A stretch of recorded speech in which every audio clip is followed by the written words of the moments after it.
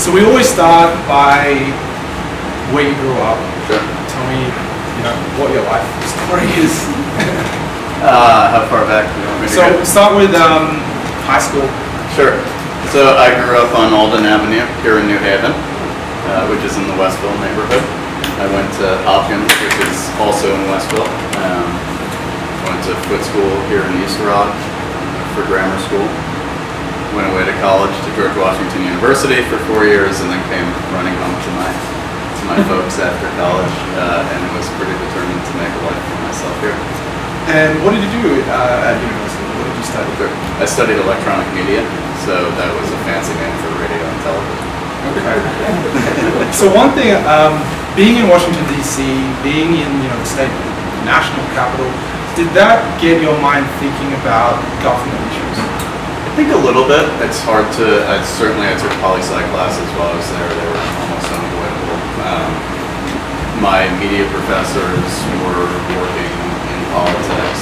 Um, some were like ex-CIA. Some were, you know, uh, uh, advisors to presidents. Um, uh, yeah, he certainly greatly influenced. But that's federal government. It's it's very different than what we work on today, but it certainly is. Cool. So you spent four years down there, and you came back to New Haven. When was that? What year was that? So I came back to New Haven in 2001. Um, I spent a little bit of time in Los Angeles before I came back, but it was very brief.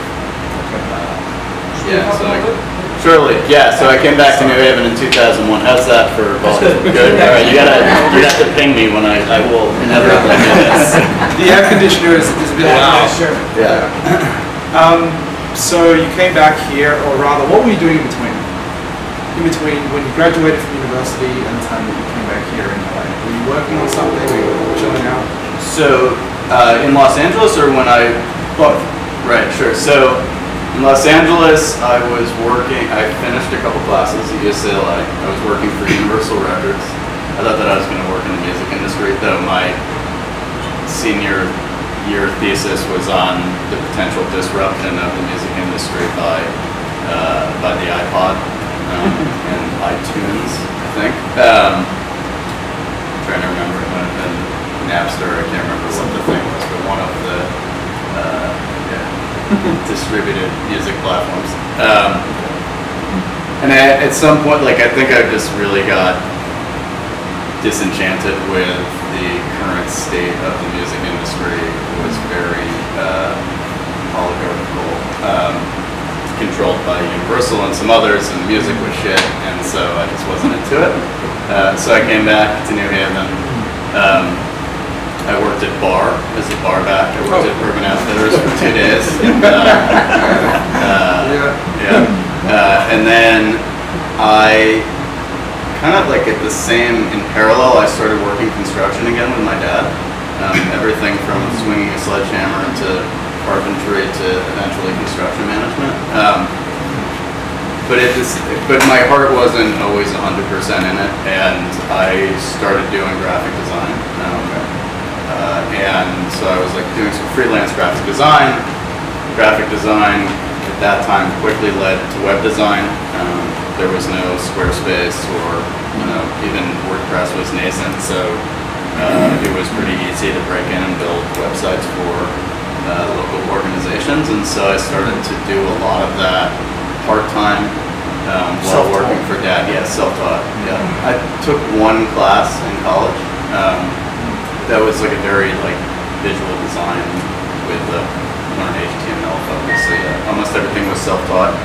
Um, so I started doing work for some national organizations, but um, probably the work with the New Haven Land Trust was actually the most influential on SeeClickFix because we were, um, well, one, I, I had the opportunity to go out and photograph every single land trust garden in the city, which uh, it's a phenomenal organization. At the time, there were 50 something uh, vacant lots in the city that they had occupied with uh, and activated with community gardeners. Um, they also run seven nature preserves, and so I saw all parts of the city that I'd never seen before, even for someone who had lived here for you know, 26 years at the time. Um, but the, from a technical perspective, it was my first opportunity to work with the Google Maps API, uh, which was, I think they released an API. Uh, so API stands for Application Programmable Interface. It is the way two uh, pieces of software, two platforms talk to each other. Uh, so it's a common language for sharing data. Did I do that okay? Ish? Good. All right. Good. You're my, you're gonna be my gut check. All right. Um, you guys can call bullshit when I say something that's um, So, uh, the Google Maps API had just uh, been released probably in like 2004. We launched Six Fix in 2007. Um, I started to understand some of the design paradigms that were that Google was offering the world effectively in terms of how to think about how the real world intersected with the web. Um, it was really exciting. So let's talk about SQL Fix, you know, the founding story. Yeah. So uh, in 2005, um, I became a homeowner in New Haven on Upper State Street, which is uh, which specifically next to Blessings to Go in between Humphrey and Bishop. Um, at that point, I think I really started to dig into my neighborhood in the way I hadn't previously. I started a, a, a, with with kind of an old school New Haven neighborhood activist, this guy Bob Frew. I restarted a uh, neighborhood association that had been defunct for I think 20 years at that point, maybe longer, maybe 30 years. Uh, it was last operated in 1982 or something, and so we started the Upper State Street Association, which was this business and uh, resident uh, improvement district um, without the without the tax classification. I don't know if we weren't 501c3, so it's very unstructured. Um, uh, but we got a lot done, um, and uh, it was my first foray into really working with both neighbors and government to make the public space look like something that the neighborhood wanted it to look like. Um, at some point, I think I had butt my head into enough um, kind of these like very transactional citizen to government interactions, me being a citizen or my neighbor being a citizen, where it just became really frustrating. The specific incident um, for me was a piece of graffiti on uh, Studio Z tattoo, um, which uh, was not going to be removed by the property owner, but it was this big nasty. It, it was not like Bank- Banksy or Shepard Fairey or, or a local version of it. Um, uh, and I wanted to get it off the building, and so I kept calling City Hall. And at some point while calling City Hall, I realized that it was not going to be fixed. And I also had this moment of realization that my neighbors had probably reported very similar things, if not the exact same thing, and they were having the same problems. And, you know, on the other side, wouldn't it be wonderful if I could connect to my neighbors uh, around these kind of basic infrastructure issues that we were all trying to get resolved? So you have this idea, you get it started, Yeah. you meet a couple people. Yeah. Tell me about that process. Yeah, so I started bouncing it off. This was like late, uh, it was around Thanksgiving in 2007. I started bouncing the idea off folks, and at this point I had trans- transitioned from working for dad uh, to full-time freelancing from coffee shops. I was working from, uh, it's uh, G Cafe now, but uh, I was bouncing back and forth between coffee shops owned by Duncan Goodall, um, who owns coffee and, uh, and that restaurant at the time. Um, one of the people, there were a few people who hung around there that were in government and uh, media, local media, who I was able to bounce the idea off of and get validation. Um, one of them uh, was Melissa Bailey, who was a journalist at the New Haven Independent. Um, they had been doing a little bit of crowdsourced open data journalism very early on. Um, uh, it was like a crime pinpoint crime database in the Independent, and so I started asking her like, hey, do you think it would be valuable if I, as a citizen, or you as a citizen, could publicly document some of these things that we're seeing that are broken in the public space? Um, and Melissa gave some pretty validating feedback really quickly. Um, I then uh, started to pitch folks like my eventual co-founders, um, who one of them had uh, substantial entrepreneurship experience. He founded uh, Higher One. Yeah. um, and was starting to think about what the next thing was, even in 2007 for him. Um, and this was prior to Higher One's IPO. Um, So let me just stop you for a second. How did you get in touch with him, Miles? So Miles and I had been have been friends since uh, shortly after I returned to New Haven from GW. Miles went to Yale undergrad. Um, we share some mutual friends. Um, I met him because uh, it was an ex-girlfriend situation. So uh, um, Okay. uh, his younger brother Cam uh, Yeah. and I both dated women that were very good friends, and we met at the Anchor. Okay. Haven love story. uh, and then Miles and I met, and um, Miles was like in this very serious phase at Higher One. Like he was like the boss of like a hundred people or something, right? And you know, like everyone around him kind of like thought of him as the boss, and I just thought of him as a friend. And so like I got him into more trouble than he was supposed to get into when everybody down, and uh, we hit it off right away. Um, and like I wasn't his little brother either, right? So Yeah. uh, so we had a real bond. Um, uh, and I think, you know, what we were working on at Cyclic Fit, like some of the things that Miles and I talked about were, and Miles is a social entrepreneur at heart, right? Uh, Higher One was a phenomenal opportunity at the time, but Miles is certainly a social entrepreneur at heart. And so we just would, you know, we talked about making the world better. So I read I read this piece of advice that he gave you, Mhm. um, and it's essentially how do you swallow an elephant? One small bite at a time. The key to solving a big problem is finding the first small actionable steps. Yeah.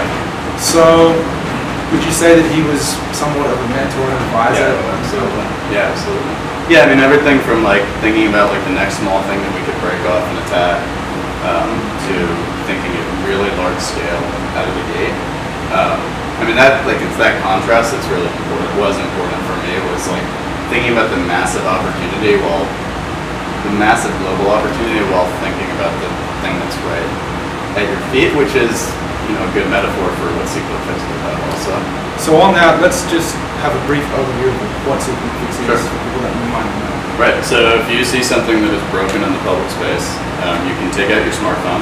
You can take a photo of the problem. Uh, based on the location of your phone or where you decide to tell the phone the problem is, we will um, geo-populate a set of uh, service requests um, that the city can act on. Uh, and then uh, you describe the issue, you categorize it. Once you submit it, we send it off to government uh, and it becomes uh, a service request in, uh, inside of government. They communicate internally on the issue, pump information back out to the citizens, uh, um, and eventually close it out. The kind of unique thing about Secret Fix is a traditional piece of government software um, is that it is implicitly social. So if Alan reports an issue on C-Click Fix and I'm his neighbor and I've reported an issue nearby, I'll get an email saying, hey, Alan just reported this issue. If you're interested in supporting it, um, vote here. And so uh, it has this kind of crowd effect um, to government that was, was unprecedented before. Um, so let's talk about the growth. How, how things went year on year. Yeah. So early on, um, talking about this earlier, but we didn't know if we were going to be a business or a nonprofit or if we were going to quit our day jobs. And uh, what we were really thinking about was just the community aspect of SeeClickFix. And um, we had folks in China and Buffalo, New York using it within months of launching. Um, uh, but we also started to get traction in cities like New Haven, in Oakland, uh, California, um, where like deeper traction, where citizens were coming back to the table and using it over and over again to the point that they were using it more than existing systems, be that an email form um, or phone system. Uh, and so we put enough pressure on the governments, uh, local governments, that they started asking us if we would build a tool for them to manage the service requests that were coming in. Uh, and so um, we built out a light software service model, subscription model um, uh, that helped governments manage uh, that communication. We called it C-Click Fix Pro. Um, at the same time, we identified that um, a local, uh, a national trend of um, kind of the change in national media trying to tackle hyperlocal journalism. Um, and there were a lot of people talking about potholes um, and trying to monetize potholes also. Like the Boston Globe was trying to monetize potholes, right? The New York Times were trying to monetize potholes. So we're trying to figure out if there was an, a revenue strategy for for your neighborhood, right?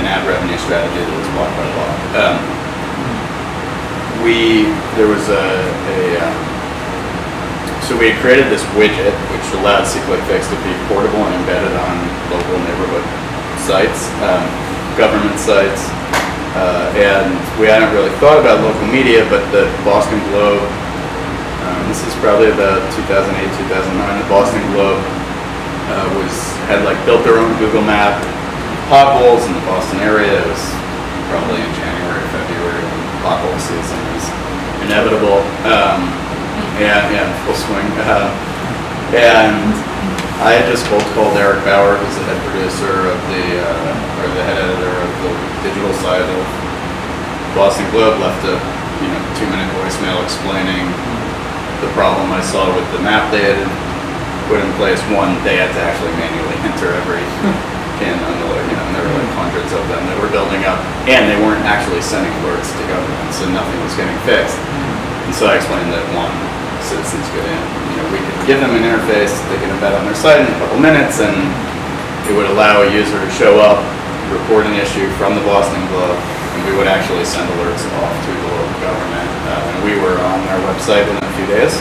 Uh, and we ended up building a decent business early on off of the media partners, um, which was pretty invaluable to our survival because at the time local governments were um, some in a state of bankrupt, but most of them in a state of uh, spending freeze coming off of the 2008 crisis, um, 2007 financial crisis. So um, we were able to monetize uh, the media partners in one of two ways. One, they paid advertising revenue, uh, to where they offset advertising revenue to us by paying us a license, a monthly license, um, similar to our SaaS model with governments.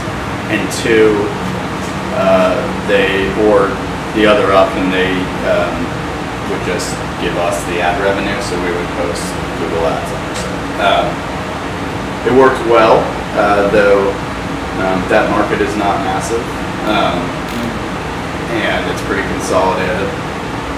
Um, So today, what is what, what, what are your revenue streams?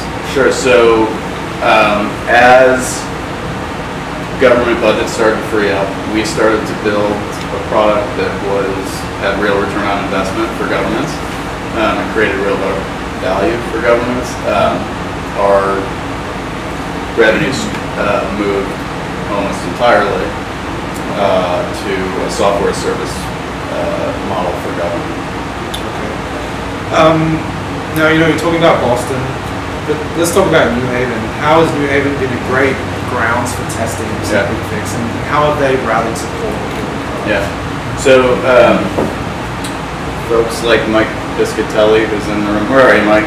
Mike was the director of traffic and parking when we launched SeeClickFix. He's now moved his way up in the world, um, uh, and is now the, the deputy head of economic development here in the city. Um, but Mike was director of traffic and parking. Uh, Rob Smuts uh, was chief administrative officer.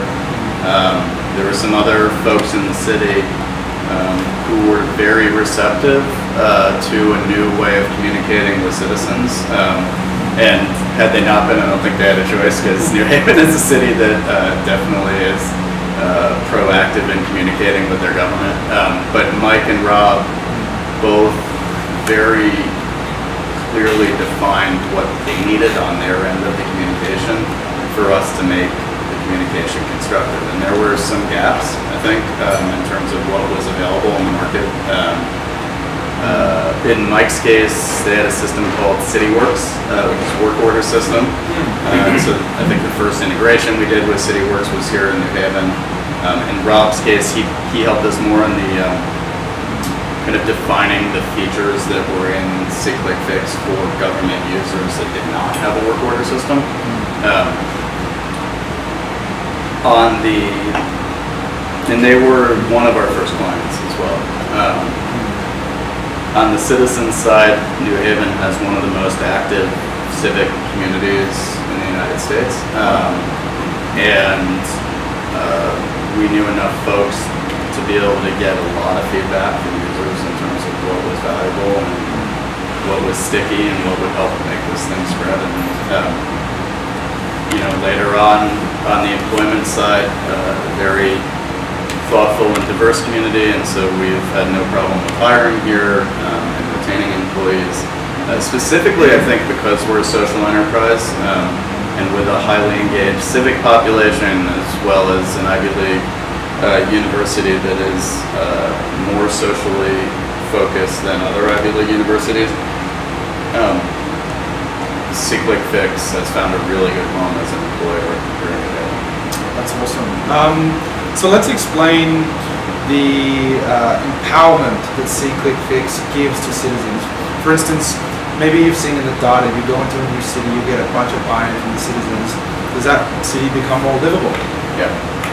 I think at an atomic level, I always think back to Miles' dad, who Miles doesn't even remember the story, but this is so he only re- remembers it through my retelling. But Is, like, is his dad a pastor? No, Chuck? no, is that no, um, Okay. no, but he is around. He's not here. Okay. No, uh, Ike, Ike is in New Haven um, Okay. now. Actually, he's the only Lasater left behind in New Haven. Um, uh, he's like a seven foot uh, Texan. You would notice him if you saw him on the street. Um, so, um, he. Uh, Ike made a comment, I don't think Ike remembers this either. So okay, so two two against one. It may be possible that this story is bullshit. we don't understand why it's important. So when we were first kind of pitching this idea and wondering if we should really work on it, um, Ike said something about like post pitch about having it this like idea in his head that like he should be thinking about things that were broken in the public space and he found himself like picking up litter more often just at, like in this moment of Wow. consciousness about the physical world around him um, and so for me that was like and, and definitely for miles that was like um, the kind of the first moment of realizing that like reporting a pothole reporting a streetlight that's out is a moment of engagement that most people just dismiss as something that will be totally hopeless and um, uh, not worth your time. And so you just kind of dismiss government, you dismiss the public space around you, you deal with it. but at the same time, it's certainly having a psychological effect on you, right? Um, I think what we didn't expect, one, was that government was going to show up and fix the majority of these issues. So for like a sense of scale, two, nearly 3 million issues have been reported on SeeClick Fix and 86% of them have been fixed. Um, so, That's the government, not us. Uh, and there, and there's like 15, over 15 million um, comments on there as well. Many of those are votes, so you can imagine like the actual number of service requests that would have gone into government would have been many times higher than that. Um, and and then there's all the people who didn't report anything didn't vote anything, but because the, every issue is publicly documented, showing up in the local news feeds, and you know there's tens of millions of people who have eyeballs on this data who are seeing the response of government. It created this massive feedback loop that said your government is listening to you, they are responding, it is worthwhile to speak up. Um, this may be not your vote at the election booth, but like this, this is your vote on it. This is your like very transactional way of participating in local government and your neighborhood on a day-to-day basis. And prior to SeeClick Fix, there really weren't many ways to do that, if any, right? Like, it, and from a digital perspective, probably none. And so um, it's become a really interesting data set for civic engagement. Um, it's been the, the reason I get the callouts in the bio is like because um, you know uh, local academics and international academics and international um, impact investors and folks at the federal level and government are very interested in how this data intersects with, uh, to your point, um, the economy, crime, quality of life, um, and um, certainly it impacts all of those things. To me, uh, the reason it's so important is that at an anecdotal level, I've talked to a number of people who have told me they have chosen to stay in their home and not move out of town because of their connection to their government through the platform. And Wow. so, um, you know, that has economic impact, that has uh, uh, uh, diversity impact, cultural impact, and it, it, it, that is what makes neighborhoods what they are when people choose to stay around and say, this is my place, this is where I want to be. Uh, and so that's, that's really important. So in the data, what are the most common things that you see that are problematic? Sure. So illegal dumping is number one. Um, um, I think that there are probably more potholes than pieces of garbage dumped in the world. Maybe not. I don't know. But but in terms of the application for the platform, a photo of illegal dump. Well, one illegal dumping pisses people off more than potholes do, especially if it's in a park that you love or in backyard or your front yard. Um, but having photo evidence makes it really helpful for government, so it's really encouraged by government. Knowing whether you should be rolling a truck or not to go pick the thing up, or what type of truck. It also is a way to, in some cases, crowdsource volunteers to help pick uh, the garbage up. Sorry, I'm having trouble with the connection. You recording this live to Senator Murphy? Yeah, I mean, I, I don't know what that was. Maybe we need to- We need to see Click Fix Siri. Seriously, that's good. Um, uh, but potholes are a big one. Um, you know, tra- there's a whole category of things that fit into like pedestrian, cycling, traffic safety. Um, certainly, emotions are higher around those things. Um, uh, trees that need to be planted, uh, code violations. Um, there's some more esoteric stuff around like specific government processes, like requesting for a certificate that happens at a death certificate. It's like people have really pushed our platform in different in different ways. What's the weirdest thing you've seen? weirdest thing I've seen? Yeah. Dead animals get reported a lot. That's just gross, and it like changes by jurisdiction, right? So you'll see like armadillos in Texas. Um, Okay. uh, um, I, I love it when I see people like helping animals out, right? Like reporting that it, like, especially, you know, like foreclosure situations, animals get left behind, neighbors will report that they want help. Um, saw a guy in New Haven the other day, like, go across, maybe he's in the audience, I don't know what he looks like.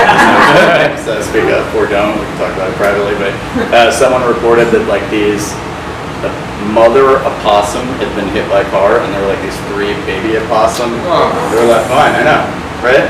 I felt the same way. I think some people were like, screw the opossum. Hot possum. But, uh, um, but this guy like drove across town to go find the baby opossum to go help them out. Um, And he discovered, awesome. he discovered the issue once he could fix it. And He was did. like a citizen. He did, yeah. And someone had already alerted the animal patrol, who I guess had come out. Um, I learned uh, from that particular user that opossums cannot carry rabies because of the temperature of their. I mean, you learn all sorts of Yeah.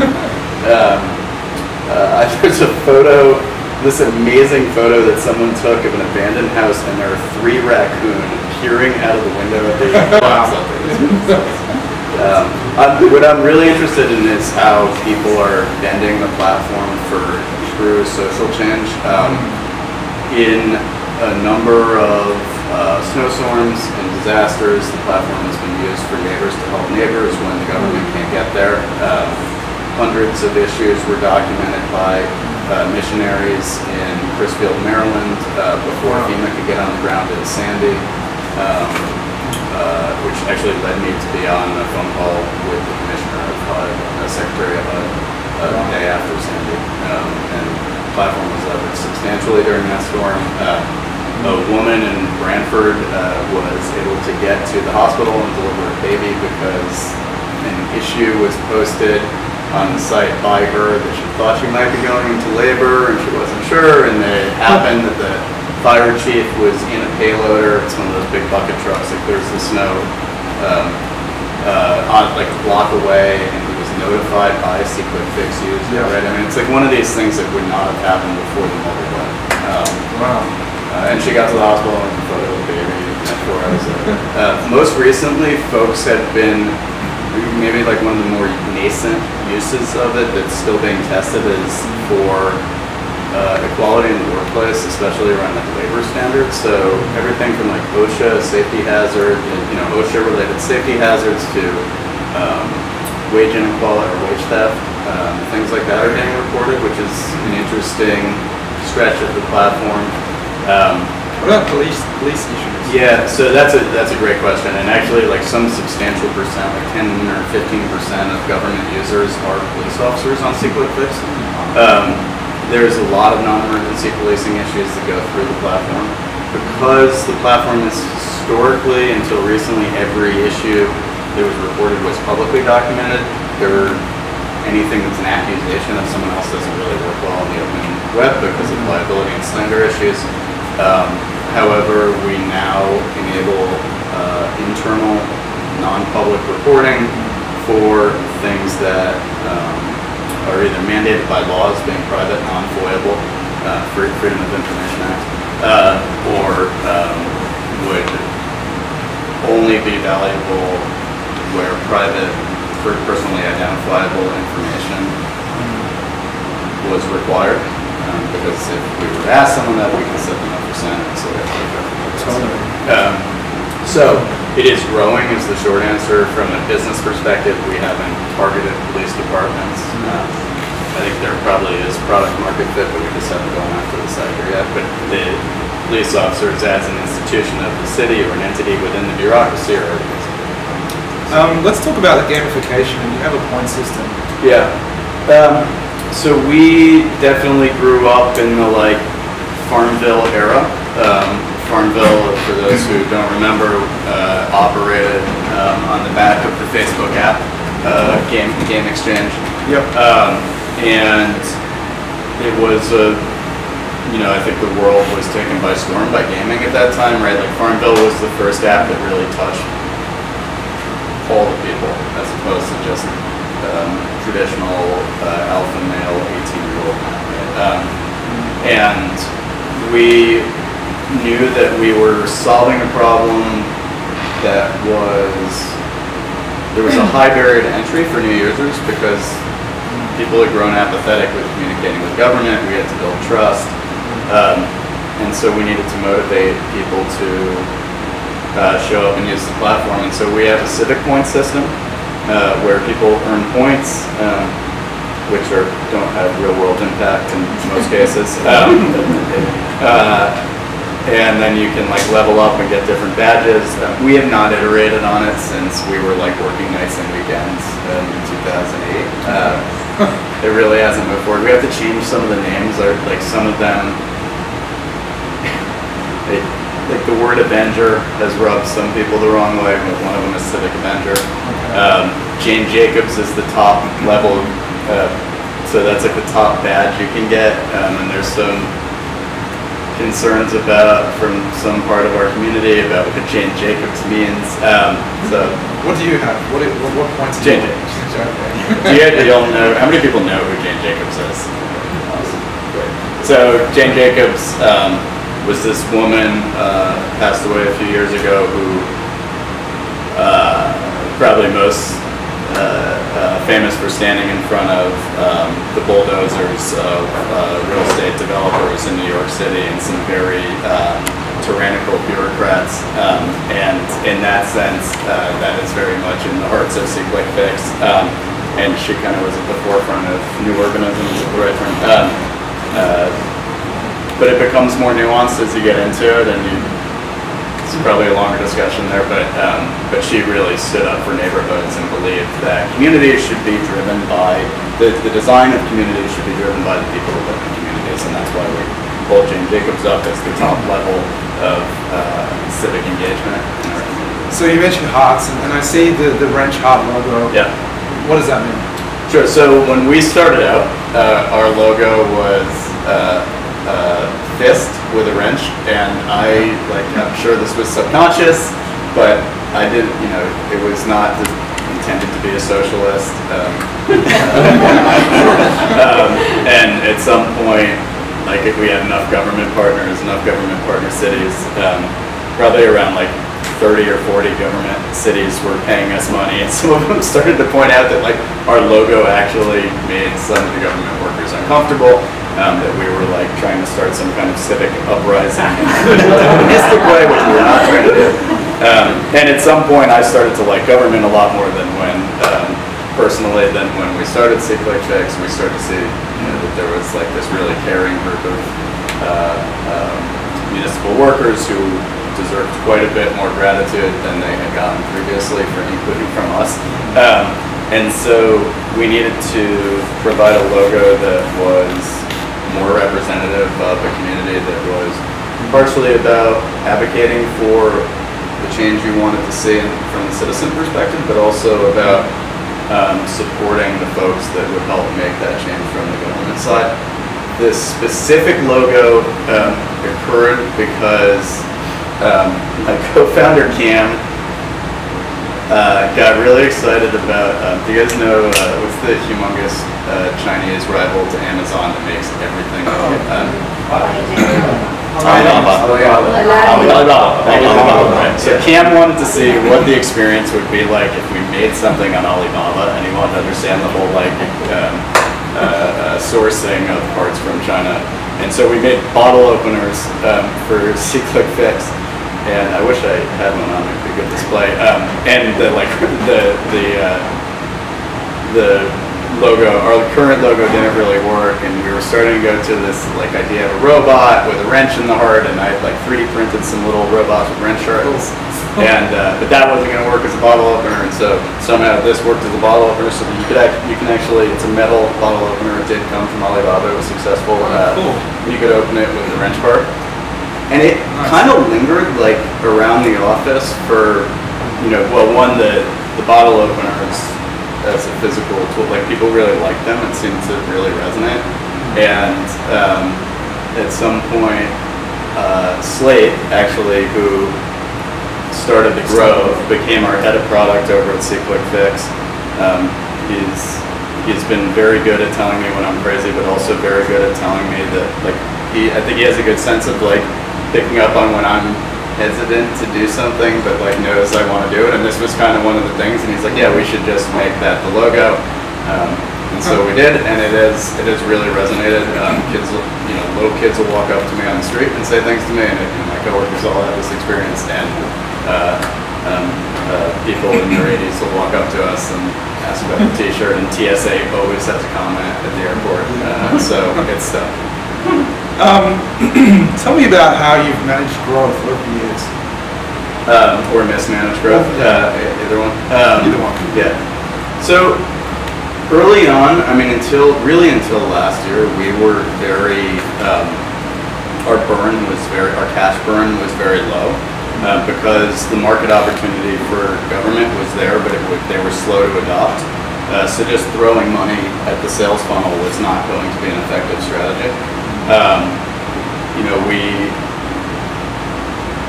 we didn't, I would say we didn't have a really repeatable process for qualifying leads, governments, um, and, and closing them until um, starting in probably January of 2015.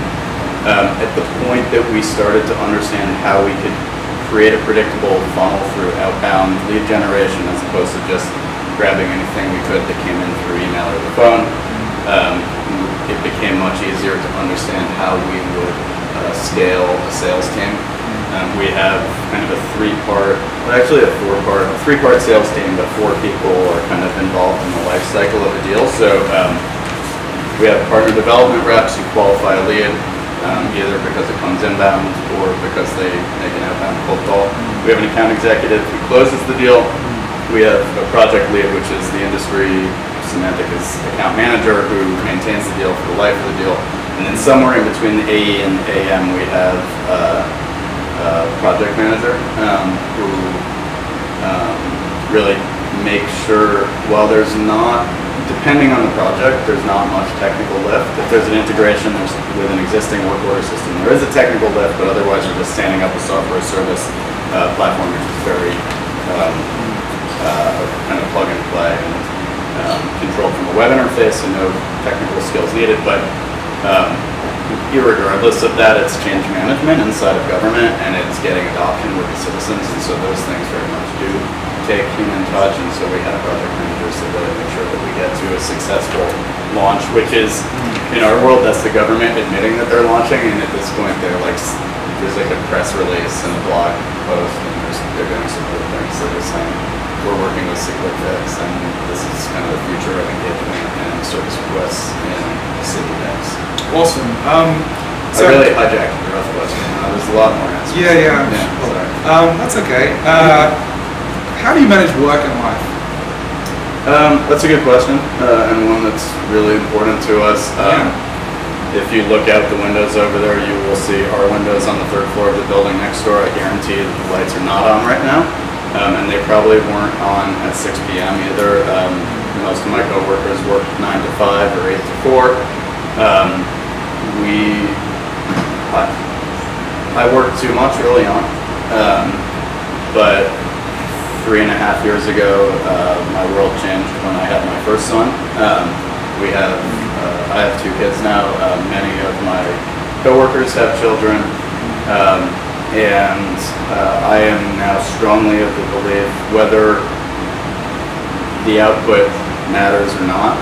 Um, I mean, I family output above everything, but like, or you know, success with family before work, but even with that, I would say that even if that's not what you're optimizing for, like we have a highly productive office that does not, you know, when people are at work, they're working, and yeah, and we're we're really, you know, everyone is active in the community and with their families. Um, you know, I'm I'm the president of MakeHaven, which is a makerspace here on the block. Slate is the owner of the Grove. I mean, the reason it gets to operate is standing in the back of the room right there, but you know, Slate still does own this place. Um, uh, people are active. Uh, Caroline Smith, who works for us, Nadine Herring, and Margaret Lee. I mean, they're like you will see their faces all over the city at community meetings.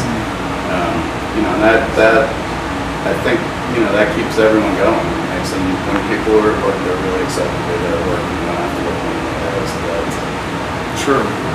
Awesome. So I, so I got a couple quick questions uh, to finish off. Uh, how many employees do you have now? 42, and there are four, uh, two, 43, and there are two job offers uh, currently What are they accepted. What are they for? Two job offers that are currently being accepted are partner development reps. Yeah. Okay. Um, how much funding have you raised? Three point four million dollars. How many open issues are there at the moment? Uh, so there would be uh, like fifty thousand. Am I off by any- No, fifty thousand. That's right, probably fifty thousand. I'm off by some. Yeah. Um, how many? It's too late. How many partner cities do you have? Just one more. Um, it's at two hundred and eighty-five. Okay. And which part of New Haven are you living in now? Westville. Westman. Yeah. Okay. Yeah. Um, all right. Awesome. Well, we'll open up to some Q and A.